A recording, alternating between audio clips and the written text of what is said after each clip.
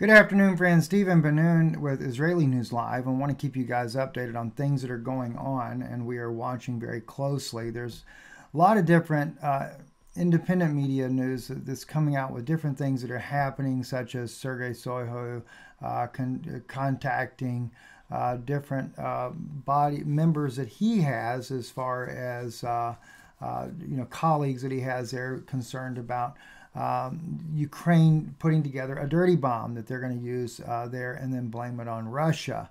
Um, that I could not get confirmed from Washington, but what I did get confirmed though is that Russia is uh, have been heavily bombarding uh, electrical water uh, infrastructures uh, inside of Ukraine.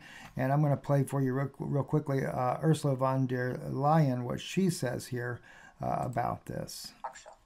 With a clear aim to cut off men, women, children of water, electricity, and heating, with the winter coming, these are acts of pure terror. And we have to call it as such. This is a moment to stay the course, and we will back Ukraine for as long as it takes. And we will protect Europeans from the other war that Putin is waging. This is his war on our energy. I know that Europeans are concerned. Concerned about inflation, concerned about their energy bills, concerned about the winter. The best response to Putin's gas blackmail is European solidarity and European unity. Well, the Europeans aren't doing a whole heck of a lot to resolve that issue. And yes, it is true that Putin has cut those supplies off.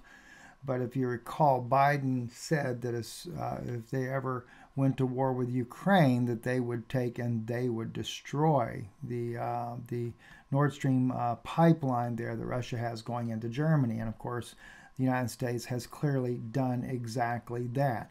Uh, I have been told that the situation is going to broaden. It's going to get much worse um, inside of Europe this winter.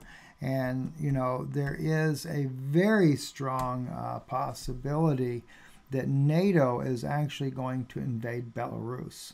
Uh, that's another thing that's very concerning. And I asked, will, will um, if that were to happen, will the uh, um, Russians actually, because of course NATO being the allies of the NATO NATO members there, coming against Russia, and of course striking Belarus to start with, knowing that Russian forces are there, and you can't even for a moment think that the Russians will not uh, respond to come to the aid of Belarus.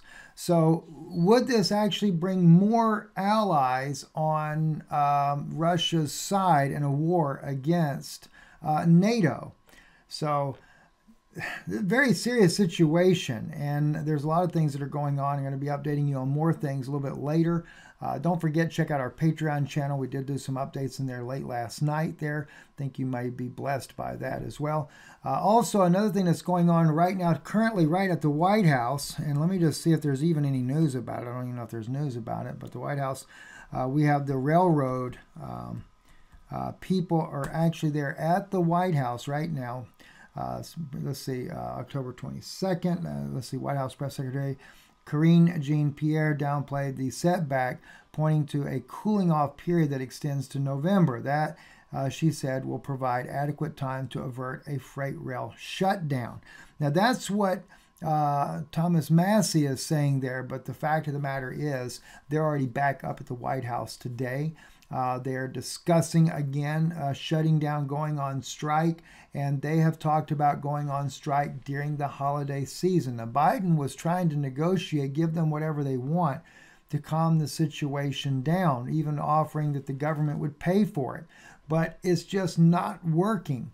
And there is a very big concern that this is all going to be.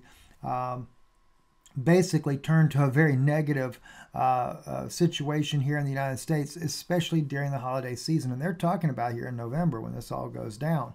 So right right before the Thanksgiving holiday, everything collapsing because the railroads will shut down and go on strike. Now it is believed from people on the inside that China is behind this, that they are behind this whole issue of the railway workers there. So I want to make sure you are aware of those things as well. and uh, we will continue to follow the things that are developing there. And uh, got some interesting things we're going to be talking about later tonight. I'll be bringing on another guest tonight. We'll be talking about Nemesis or Planet X or the Blue Kachina, whichever one you want to call it. There, going to be sharing some information that uh, that is very concerning on that tonight. I'm Stephen Ben-Nun. You're watching Israeli News Live.